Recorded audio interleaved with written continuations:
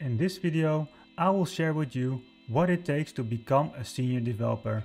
First, we will discuss what a senior developer actually is, and after that, we'll discuss different topics about what it takes to become a senior developer. And the first one is spending the time. The second one is staying eager to learn. And the third one is becoming a team player. And as a bonus, I'll discuss with you different paths you can take as a senior developer. Let's jump into it. What is a senior developer? A senior developer is someone that has at least 5 years of experience in a coding job. And it doesn't matter if it's a little bit less, maybe a little bit more, but it has to be around 5 years. A senior developer can be proficient in any programming language. You can put them in the front end, back end, can give them uh, JavaScript, Python, Java, .NET, it doesn't matter, they will figure out how to build the solution. Senior developer thinks in solving problems instead of just randomly starting to write code. So first they think of the problem and what the solution should be and then they look for the best fit. They, senior developers, also have the ability to explain complex stuff in an easy way. This is handy when you talk to juniors, but also when you talk to the business. Senior developers are also aware of the bigger picture. They know that what they do has impact on other people as well and are not only focused on their own work. And senior developers are also able to understand the business side of things. Sometimes because of the business solution, the code cannot be perfect, but at least they will know how to find a middle ground. The first aspect of becoming a senior developer, and that is time. Just like any other skill, you need to put in the time, you need to put in the work to improve the skill. But if you can hang on to a senior that can mentor you and that can guide you, that will decrease the time of you becoming a senior by a lot. And the other side of the story is don't cheat yourself sometimes when we want to become uh, seniors or we want to become something that needs to put in uh, time, then we get too eager and we start maybe coding in the evenings, ordering junk food, um, and put on your headphones and start coding till late every evening. And what happens in the end? Right? You may be a senior developer a bit quicker, but the question is is it worth it to become unhealthy, to become, become unhappy. Of course, I can't decide for you, but I would say keep it a little bit more balanced. Just close your laptop at 6, have some dinner uh, with the family, uh, talk to your partner, and maybe a little bit of coding, maybe an hour, half an hour, but keep it balanced. Are you liking this content? Then please don't forget to like and subscribe.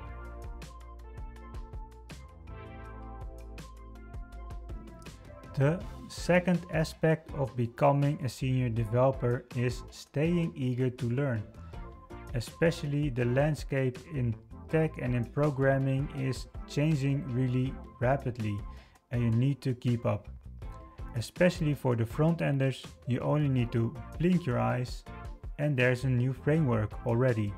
So don't fall into the trap of doing Udemy course for every new framework that comes out.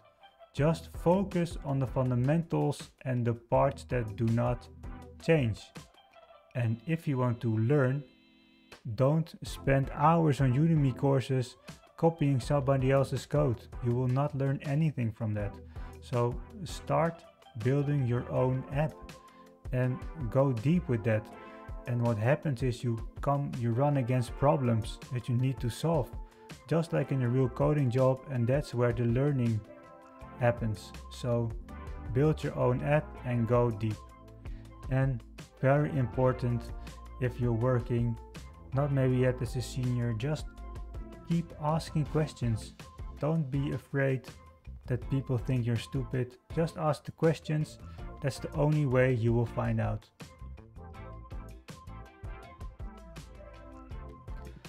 The third aspect of becoming a senior developer. As a developer, most of the time you'll be working in a team and a team oftentimes has different rules, different processes.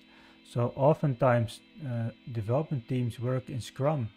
They use Git flow. They have a certain uh, release process. Also, coding conventions may be there.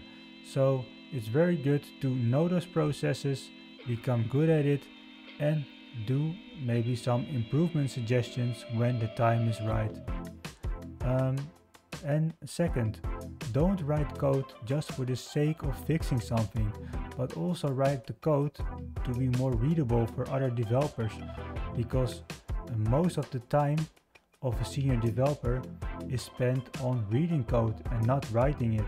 So when you are reading it, it's very nice and it would save a lot of time if it's readable and clear and you know what it does. So before you make a PR, make sure it's nice and tidy. There are no more console logs in there and also make sure your final iteration of your idea is in there. Because you know when you're starting on the on the feature you have this nice solution you build it and then you already have some ideas for the next iterations and what they should be. So before you open the PR make sure those iterations are already in there. Because otherwise you'll be just wasting other people's time getting feedback on things you already know or you had ideas about uh, review comments on PRs they are not personal so don't take them personal. The review comments are there to keep the code base clean for everybody. So if you have some feedback, take it as an opportunity to get better and to learn stuff instead of feeling attacked. Finally, don't see the business or managers as enemies because they just want what is best for the team because in the end, they just want a good product just like you.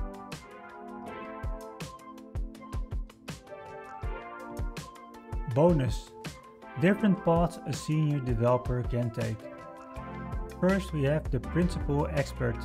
That's the one who just wants to focus on programming and nothing else. Second, we have the architect.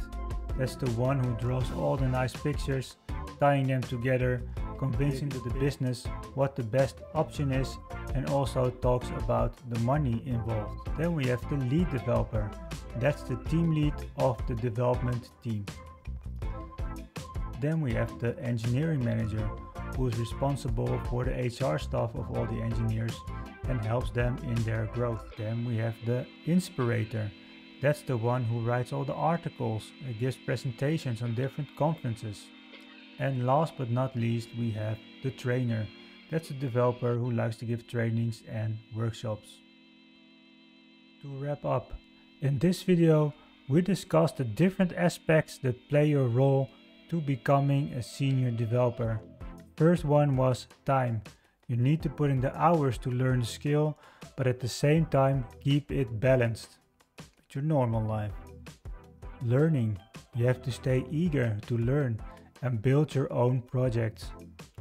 Becoming a team player. Make your code and PRs readable for other developers. And as a bonus, we discussed different paths a senior developer can take. So if you like this video and this content, please don't forget to like and subscribe. And let me know in the comments what are the different aspects you think a senior developer needs to walk through and what is a senior developer according to you? I'm curious, let me know. Bye.